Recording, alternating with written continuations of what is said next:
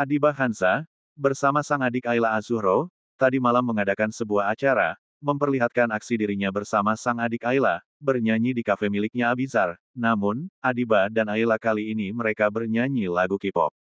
Sebelumnya memang, pemberitaan Adiba dan Ayla, yang akan bernyanyi lagu K-pop tersebut, telah diumumkan pihak kafe Pilion Coffee, di laman sosial miliknya. Yang tentunya sukses, mendapatkan respon positif dari para pengunjung kafe tersebut. Mereka terlihat sangat antusias, datang ke kafe untuk menyaksikan penampilan Adiba dan Ayla yang akan bernyanyi.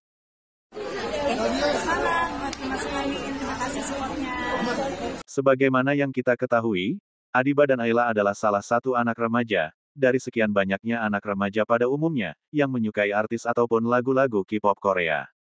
Terlihat dari beberapa unggahan di laman sosial milik keduanya, Adiba dan Ayla nampak sering membagikan momen dirinya, yang menyukai band Korea tersebut.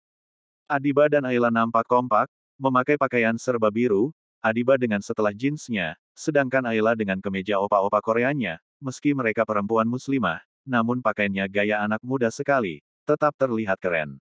Siapa sangka, Adiba yang sebagaimana kita ketahui, ia seringnya menyanyikan lagu-lagu rohani yang bergenre religi, ternyata ia salah satu penyuka lagu Korea. Adiba terlihat sangat lancar bernyanyi dengan menggunakan bahasa Korea dan Inggris. Begitupun dengan sang adik Ayla, ia nampak sangat mahir menyanyikan lagu-lagu Korea, sampai membuat para pengunjung Pilion Coffee, terpesona melihat aksi keduanya.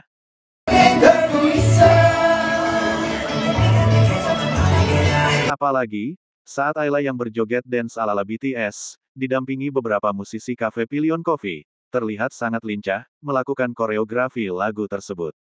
Para pengunjung Pilion Coffee tersebut pun, seolah tak ingin ketinggalan momen tersebut, mereka beramai-ramai merekam aksi Adiba dan Ayla, yang tengah asik bernyanyi, yang kemudian diunggah di laman sosial media. Sontak, unggahan para pengunjung kafe tersebut pun, ramai dikomentari warganet. Banyak dari warganet, yang baru mengetahui bakat kedua anak perempuan almarhum Ustadz Jeffrey tersebut, ternyata Adiba dan Ayla adalah penyuka lagu-lagu K-pop. Kali ini kita mau pansos sama Adiba Hansa dan Ayla, kita malam mingguan bareng pakai playlist mereka berdua, buat para K-popers mari merapat, tulis unggahan Cafe Pilion Coffee. Cafe milik Abizar tersebut, memanglah selalu mengadakan acara bernyanyi bersama, untuk menemani para pengunjung kafe di setiap akhir minggunya. Please min adain lagi, kuilah, ditemenin K-pop soalnya. Duh, jangan sampai ketinggalan nih, cuit netizen. Pihak Cafe Pilion Coffee pun akhirnya, kembali mengumumkan, jika Next akan kembali mengundang Adiba dan Ayla, untuk bernyanyi bersama dengan lagu K-popnya di Cafe Pilion Coffee lagi. Terima kasih sudah menonton, jangan lupa like, komen dan subscribe, tekan tombol loncengnya agar tak ketinggalan informasi selanjutnya.